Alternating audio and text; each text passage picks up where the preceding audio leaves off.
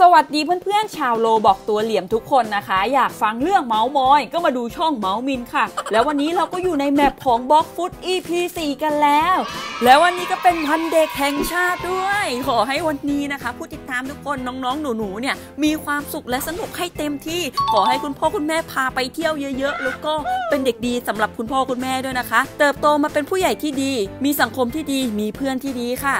ซึ่งครั้งก่อนเนี่ยพี่มินเพิ่งไปปลุกฮาคิใหม่มานะคะและในวันนี้เราจะมาลุยกันต่อที่เกาะหิมะกันเลย เพราะฉะนั้นอย่าลืมกดไลค์แรงๆ แล้วก็กดติดตามกันด้วยนะคะ มาอย่างแรกเนี่ยเรามารับ quest ที่กลางหมู่บ้านกันนะคะ เลือกโจรหิมะไปค่ะ level ขั้นต่ำคือ 90 นั่นเอง เฮ้ย มันมีแจ้งเตือนค่ะ บอกว่าโซลได้เกิดขึ้นในเกมแล้ว คุณมีเวลา 15 นาทีในการเอาชนะเขา และอาจจะได้รับรางวัลที่หายาก เฮ้ย อันนี้มันเป็นเควสที่อยู่ในเกมเหรอคะ พี่มินสามารถไปกดรับได้ที่ไหนเนี่ย หรือจริง ๆ แล้วโซลคือชื่อผู้เล่นคนใดคนหนึ่ง คนไหนรู้เนี่ยก็สามารถมาพิมพ์บอกพี่มินได้นะคะโอเคมาเรามาทำการตีโจรกันเลยค่ะอือหือครั้งนี้เราได้สู้กับมาดาระแล้ว เรียกมอนมารวมกันแล้วก็อัด พลังไปเลยทีเดียวนี่นี่เป็นไงเจ็บเจ็บสะเทือนสะเทือนแม่พอมาสู้ในเมืองหิมะแบบนี้แล้วนึกถึงตอนที่ลูฟี่ได้เจอกับชอปเปอร์เลยค่ะ แต่ไม่มั่นใจว่ามันคือเมืองเดียวกันหรือเปล่า อัดพลังเข้าไปเป็นไงดินถล่มแต่บ้านไม่พังอะคิดดู level up แล้วค่ะทุกคน ตอนนี้พี่มินก็เลเวลร้อยแล้วนะคะ ซึ่งมันสามารถไปรับ quest ใหม่ได้นั่นก็คือ มนุษย์หิมะค่ะ สโนว์แมนเนี่ยจะอยู่ทางด้านบนนะคะ ซึ่งทุกคนก็น่าจะมองเห็นและเด่นชัดขนาดนี้ Do you want to build a snowman Come on let's go and play โอ้โห มีโอลาฟวิ่งมาตั้ง 3 ตัวนะคะ นี่ ฉันรักอ้อมกอดอุ่นเป็นไง อุ่นดีไหมเออ มอบด้วยความรักนะเนี่ย ใจเย็นไอ้น้อง เขาไปเลยค่ะ เดี๋ยวพี่จัดการตัวนี้ก่อนนะคะเดี๋ยวตามไปซ้ำตัวนั้นกันดีกว่า เอ๊ะมันตกไปอยู่ข้างล่างหรือเปล่าเนี่ย ไม่เจอค่ะ เอ้าแล้วไอ้ตัวข้างบนลงมาทำไมใครอนุญาตอุ๊ยส่งกลับขึ้นข้างบนอะ เออ มาอยู่ข้างบนจะได้ต่อสู้ง่ายๆปั๊บโอเคค่ะ level up ก่อนจะรับ quest ใหม่นี้แอบมาจิกเงินในหมู่บ้านก่อนดีกว่า ซึ่งมันจะมีบ้านหลังนึงอะค่ะ ที่มีหีบสมบัติอยู่ตรงฝ้าเพดาน เหมือนจะไม่ใช่บ้านผู้ป่วยอ่าแล้วก็เป็นบ้านที่อยู่ใกล้ๆคนที่มาขอเงินเรานะคะ ซึ่งตรงนี้เนี่ยจะให้เหรียญเยอะสุดเลย แต่บ้านมันแคบไปนิดนึงว่ะเล่นแล้วปวดหัว และในตอนนี้พี่มินก็สามารถรับเควสเยติได้นะคะ เลเวลขั้นต่ำอยู่ที่105ซึ่งจริง ๆ แล้วเยติเขาจะยืนอยู่กลางลานหิมะเลยนะคะ แหมสงสัยจะคิดถึงก็เลยเดินมาก่อน เอ้ยโอ้ยเดี๋ยวเดี๋ยวเดี๋ยว อ้โหอุ๊ยมันโจมตีแรงมากค่ะทุกคนพี่มินเกือบตายเฮ้ย มันทุบพื้นได้เหมือนลิงเลยค่ะ โอ้เดี๋ยวเดี๋ยวคือพี่จะกดโจมตี แต่ดันไปกดบิน เมื่อกี้ตัวขาดครึ่งเลย โอ้โอ้โอ้โอ้มันทุบพื้นอีกแล้ว โอ้ยเนาะหน้าตาแกก็ดูเหมือนจะจัดการไม่ยาก แต่ทำไมมันอึดจังวะโอ้จะว่าไปตัวมันใหญ่เหมือนกันนะเนี่ย เอ้ยเดี๋ยวเดี๋ยวเดี๋ยวมันทุบพื้นอีกแล้ว อีกที เออ ตอนนี้พี่มินสามารถกำจัดเยติได้แล้ว แต่ถ้าอยากไปเกาะต่อไปเนี่ย พี่มินต้องเลเวล120นะคะ เพราะฉะนั้นเราต้องมารับ quest กันต่อเฮ้ยเฮ้ยเฮ้ยเฮ้ยแล้วมันมีคนมาตีมอนอะไรแถวนี้ เดี๋ยวพื้นที่ก็ตั้งกว้างฮัลโหล ออกมาก่อนนายนี่ขาดความรับผิดชอบจริงๆ มา เดี๋ยวเราจัดการให้ เอ้ยไอคนนั้นมันมาอีกแล้ว มันมาโจมตีพี่ค่ะ มันใช้ผลแสงเหมือนกับพี่มินซะด้วย ได้ได้เดี๋ยวโจมตีคืนเอาหูมันดีดออกมาก่อนโอ้โหนี่มันท้าลบกับพี่มินชัดๆเลยทุกคน เอาคืนไปบ้างดิเอาเอ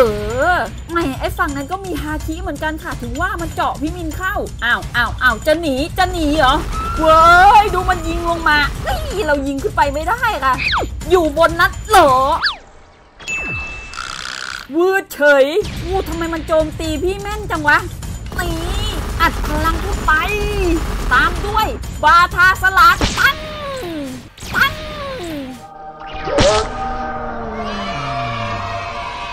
เฮ้ย ตัวแตกไปดิมันหนีพี่มินไปแล้วกันทุกคนเฮ้ยนี่ก็เป็นครั้งแรกที่พี่มินได้ลองต่อสู้กับคนอื่นนะคะ แต่อันเนี้ยมันไม่ได้อยู่ในใบประกาศจับมาสิ ตัวสุดท้าย และตอนนี้พี่มินก็เลเวล 120 แล้วนะคะ เดี๋ยวเราไปเริ่มต่อกันที่เกาะใหม่กันเลย คือผู้ติดตามบอกกับพี่มินว่าหลังจากเกาะหิมะเนี่ยจะเป็นเกาะทหารเรือนะคะ แต่ตอนแรกพี่นึกว่ามันเป็นเกาะนี้ แต่เหมือนจะไม่ใช่นะคะ อันนี้มันเป็นเกาะเริ่มต้นสำหรับคนที่เขาเลือกฝั่งของทหารเรือค่ะ แล้วแบบนี้เกาะมารีนฟอร์ดของพี่มินจะไปอยู่ตรงไหนล่ะเนี่ย เดี๋ยวขอลองเดินสำรวจก่อนละ เฮ้ย หรือว่าจะเป็นเกาะทางฝั่งนั้นคะอะเดี๋ยวเราลองบินไปสำรวจก่อนเลยแล้วกัน เฮ้ย แล้วเหมือนจะใช่นะคะ เกาะที่เป็นรูปพระจันทร์แบบนี้ นี่ก็คือเกาะมารีนฟอร์ดนั่นเอง ซึ่งเจ้าเกาะนี้เนี่ยมันจะมีผ้าคลุมให้เราได้รับด้วยนะคะมารับเควสที่ทางขวามือค่ะ ซึ่งมันจะอยู่ทางขึ้นของบันไดเลย ค่าตัวของพี่มินยังไม่ถึงพันอีกเหรอเนี่ย มาเลือกอันแรกเลยนะคะ ได้ 6,000 เบลี ซึ่งม่อนลูกกระจอกอันนี้เนี่ยมันจะอยู่ทั้งสองฝั่งเลยนะคะ ฝั่งซ้ายก็มี 4 ตัวขวาก็มี 4 ตัวเท่ากันนะ แต่พี่ว่าพี่ไปตีฝั่งขวามือตรงนี้ก่อนดีกว่า พี่มีความรู้สึกว่าม่อนของฝั่งเนี้ยมันหาง่ายกว่าค่ะ Okay. อ่าลากมารวมกันนะคะ ทีนี้ก็อยู่พร้อมหน้าพร้อมตากันแล้วคือเข็มทิศของพี่มินเป็นไรไม่รู้ค่ะ กว่ามันจะขึ้นนี่ก็คือ เราต้องเดินทางมาถึงเกาะก่อนมันถึงขึ้นอ่าและต อนนี้เราก็ถึงเลเวล130 แล้วนะคะ ซึ่งมันทำให้พี่มินสามารถตีบอสของที่นี่ได้แล้ว ได้รับ 1 5 0 0 0เบลีนะคะ ซึ่งบอสในด่านนี้เนี่ยมันจะอยู่ข้างในปราสาทนะคะ ก็ขึ้นตามไปเลย Surprise. โอ้โห ยืนต้อนรับเชียวนะฮันแน่มี 3 ดาบซะด้วย ตอนแรกนึกว่าโซโล เดี๋ยวเดี๋ยวใจเย็นก่อนลวกพี่ ลวกพี่ ฉันยังไม่พร้อมโอ้ลืมไปว่าบอสมันยิงพลังได้นี่หว่า มาครั้งนี้เปิดฮาคิไว้ก่อนแล้วกัน คือบางทีตอนที่พี่มินสู้อะ พี่จะชอบลืมเปิดฮาคิทุกครั้งเลยค่ะ เอ้ยหลบทันน่ะ Final Flash เดี๋ยวปิดเรื่อง เอ้ยอื้อหือพลังโจมตีมันโคตรโหดโอ้โหแล้วเกิดไกลไปไหมเนี่ยขี้เกียจเดินอะ งั้นก็บินไปแล้วกันนะ มาฉันมาแก้แค้นแกแล้ว เสร็จฉันละเอ้า ไม่อยู่ อ๋อ อยู่ทางซ้ายมือ อัดไปโว้ยเดี๋ยวเดี๋ยวเดี๋ยวมันกระเด็นมา เอาใหม่ ฉันไม่ยอมหรอกนะ เออ อัดตอนเผลอเปิดก่อนได้เปรียบโอ้ยเดี๋ยวเดี๋ยวเดี๋ยวโดนสัญญาณ Wi-Fi มาซะได้ เออ เอาไปไหนแล้วล่ะ เอ้ยเดี๋ยวเดี๋ยวเดี๋ยวเดี๋ยวหลบก่อน มันปล่อย Wi-Fi มาอีกแล้วอีอีกนิดเดียวทุกคนมันกำลังจะตายเอ้วเอายังนี่ว่ะเออโอ้โหเลเวลขึ้นเยอะมากค่ะ แล้วไหนผ้าคลุมพี่อะคือหลังจากสังหารบอสเสร็จ มันต้องดรอปผ้าคลุมไม่ใช่เหรอ เดี๋ยวพี่มินขอสำรวจหน่อยแล้วกันค่ะ เอ้า มาโผล่หน้าอาคารเฉยเลย เฮ้ย ตรงนี้มีหีบสมบัติด้วยค่ะ เดี๋ยวขอลองดูรอบๆเกาะหน่อยนะคะ เฮ้ยทำไมตรงนี้มันเป็นตรงเดียวที่สีมันไม่เหมือนชาวบ้านเขาอะมันเป็นทางเข้าอะไรหรือเปล่าเนี่ย หรือจริงๆเขาลงสีผิด อ่าแล้วตรงนี้ก็มีซอกนะคะ ให้ซื้ออาวุธได้ โดยจะมีราคา 30,000 เบลี65,000 เบลีจนถึง 100,000 เบลีอันสุดท้ายนี้เป็นระเบิดนะคะ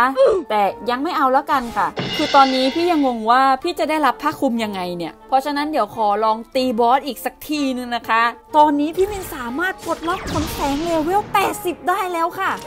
โอ้ยท่ามันเท่อยู่นะเมื่อกี้ อลองอีกทีดิ เออวู้ damage มันก็แรงอยู่นะ 300 หน่วยเลยอะทุกคน อีกทีดิโอ้โห level up รัวๆเลยค่ะ แต่เมื่อไหร่พี่มินจะได้ผ้าคลุมเนี่ยถ้างั้นก็มีทางเดียวแล้วค่ะ ก็คือพี่มินต้องสำรวจบนหอคอยที่เหลือเนี่ยแหละ เดี๋ยวค่อยๆดูทีละอันเลยแล้วกัน เริ่มจากอันริมสุดนะคะ ก็ไม่มีค่ะ อันข้างหน้าดูดิ อืมก็ยังไม่มี อันถัดไป ก็ยังไม่มี ทีนี้ก็เหลือทางฝั่งขวา เฮ้ย ตรงนั้นมีหีบสมบัติด้วยค่ะ หรือว่ามันให้เป็นจุดสังเกตหรือเปล่า เดี๋ยวเราลองบินไปดูก่อนค่ะเฮ้ยข้างบนมีจริง ๆ ด้วยค่ะ เดี๋ยวเดี๋ยวเก็บเงินก่อนอ่าแล้วเราก็เจอจริง ๆ ด้วยค่ะ อยู่ทางขวามือนะคะของเกาะ มันจะมีช่องให้ลงไปนะคะ เดี๋ยวเราลงไปดูกันเลย เฮ้ยข้างในนี้มีร้านค้าด้วยค่ะ ก็เข้าใจแล้วทำไมร้านนายถึงเจ๊ง อยู่ในนี้ใครมันจะไปหาเจอวะ บ้าเอ้ย ข้าเพิ่งซื้อผ้าคลุมสีดำนี่มาในราคา1นึ่งแสนโลบักจากเด็กข้างบ้าน ไอเด็กคนนั้นบอกว่ามันจะเพิ่มพลังโจมตีและอื่นๆ ให้ จะซื้อป้าในราคา 50,000 เบลี เร็วๆนะ ฉันจะต้องไปแล้วล่ะ คือคุณลุงร้อนเงินใช่หรือไม่ กดซื้อเลยค่ะอู้ ตอนนี้พี่มินก็ได้ผ้าคลุมผืนแรกมาแล้วโคตรเท่ทุกคนเหมือนกับซูเปอร์แมนบักอึดทลาลงเลยเนี่ย เอ้าพื้นที่ไม่พอค่ะ เดี๋ยวเราลองไปบินข้างนอกกันดีกว่าอุ้ยแล้วในที่สุดพี่มินก็มีผ้าคลุมเหมือนกับคนอื่นเขาแล้วนะคะอาจจะยังไม่เท่สักเท่าไหร่แต่ก็เป็นการเริ่มต้นที่ดี เดี๋ยวเราไปทำการสุ่มผลปีศาจกันใหม่ดีกว่า แล้วเราก็เดินทางมาถึงเกาะลิงแล้วนะคะ ซึ่งพี่มินตั้งใจว่าพี่มินจะมาสุ่มผลปีศาจใหม่ในทุกๆคลิปเลย จะได้เก็บรวบรวมไปแจกกับผู้ติดตามนะคะ เฮ้ย นี่มันตุ่มของภารกิจแชงคูดใช่ไหมเพิ่งรู้ว่ามันอยู่ตรงนี้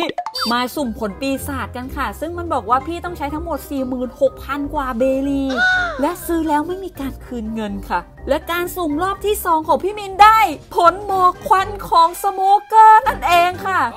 ซึ่งอันนี้เนี่ยเป็นผลสายโลเกียนะคะ ฟันแทงไม่เข้าแต่พี่คิดว่ามันไม่น่าเก่งเท่าไหร่ เพราะตัวละครนี้มันโผล่มาตั้งแต่ซีซั่นแรกเลยอะค่ะ แต่ก็ขอเก็บไว้ก่อนแล้วกัน เพื่อนเอาหนังกระติกมายิงพี่ โอ้โหเปิดฮาคิยิงด้วย อุ้ยเริ่มเจ็บเพื่อนอย่ามาสะกิดเราแบบนี้เพื่อน เอ้ยเดี๋ยวเดี๋ยวอย่าตามเรามาแหม่เพื่อนใส่ผ้าคลุมของโดฟามิงโกมาซะด้วย ขอลองฆ่าไม่ตายใหม่เด้อู้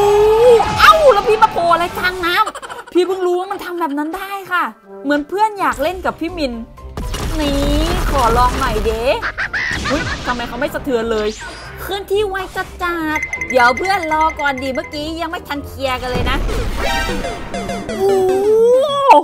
อย่างแรงเลยนี่ เพื่อนไปขโมยหนังกระติกจากอุศบมาหรือเปล่าเนี่ย แต่ใจมันก็อยากลองของสูงบ้างอะเออโอ้เดี๋ยวเดี๋ยวเดี๋ยวเพื่อนแปลงร่างเป็นไททันโอ้ทีเดียวตายเลย ขอลองอีกทีดิ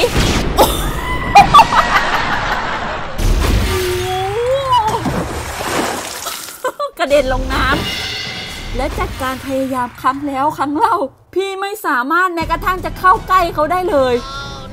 โอ้โหเสียใจด้วยเพื่อนเราปิดโหมด PVP แล้วน่ะแต่ใจมันยังห้าวโอ้โห มันไม่เป็นไรเลยวะนี่มันหมุนอีกแล้ว ก็เรานั้นอยู่คนละชั้นโอ้